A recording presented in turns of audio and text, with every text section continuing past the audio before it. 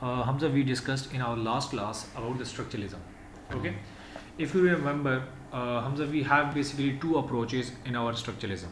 Okay, the first one was consensus, and the other one was conflict. The consensus, uh, as name suggests, that that the majority of the people will agree. They are agree with the way the society or the uh, institutions are working in the society.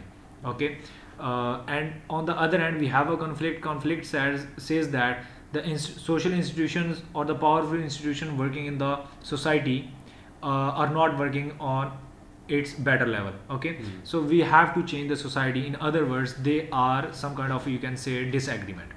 So we discussed basically two points in the disagreement. Uh, the first one was marxism and the other one was uh, feminism okay? Mhm. so we are discussing one of the point which is known as marxism into the conflict okay so that uh, is basically the second approach of the structuralism. So what is marxism said? Hamza, marxism said that in the society there are basically two partitions.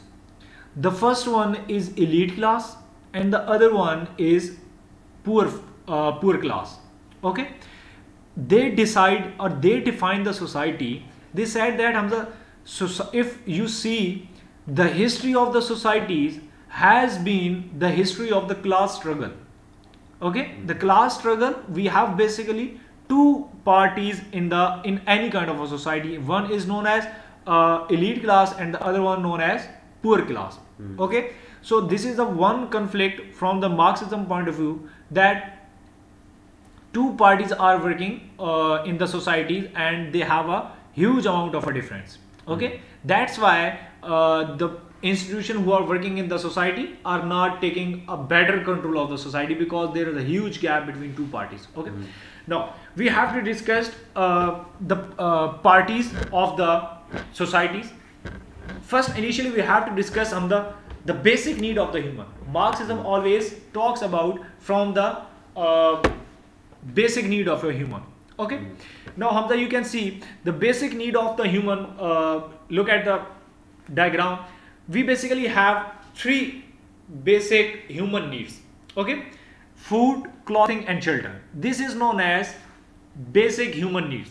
So if we want to compete if we want to complete or if we want to fulfill any individual basic need hamza we have to rely on some kind of materialistic things okay? All these different things we required some kind of a material Hmm. okay food cloth shelter are those things hamza that you can touch that you can sense that you can feel. Okay? So you can say these are some material needs. Okay? Because you can touch them. So in the order to produce food cloth and shelter hamza you required some kind of a material need. Okay? How you will uh, how will you will complete some kind of a material need? For that material need hamza you need some kind of a material production Yeah. of course you need some kind of a material production. Then you would be able to make food cloth and the shelters. Okay? Now how you will produce the material production? Okay?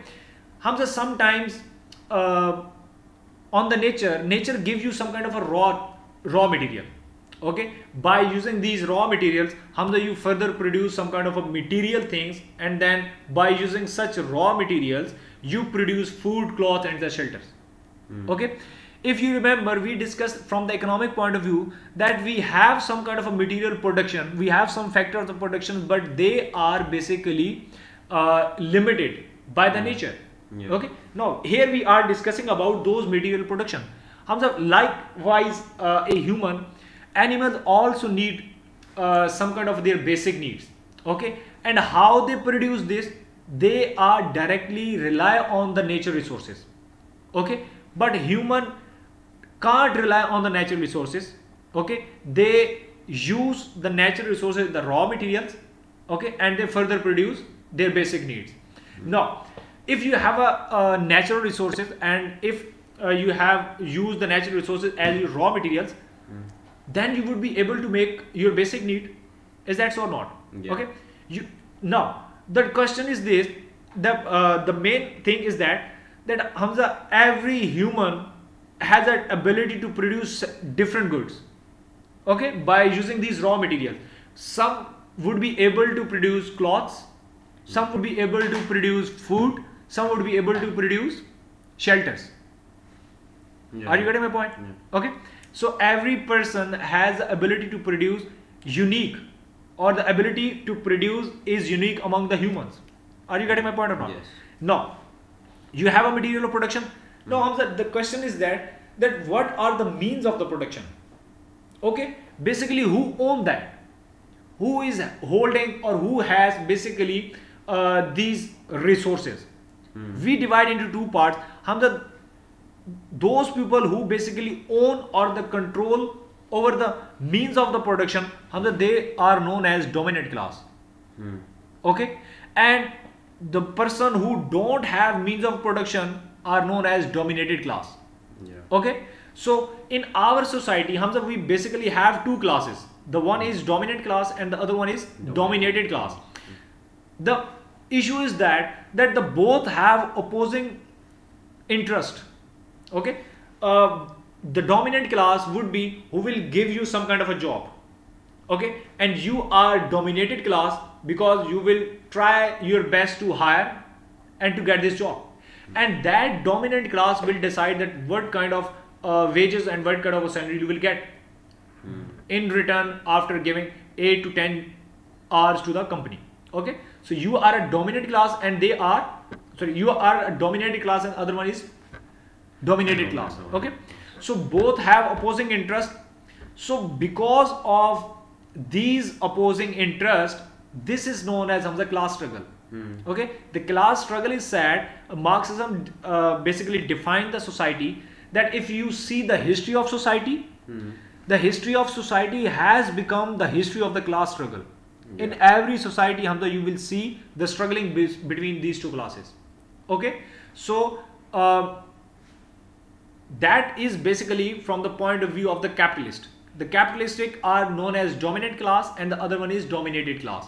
Okay so from the marx point of view now you can see that there is a conflict in the society. Okay? And the conflict of what? Conflict of the class. Yeah. okay?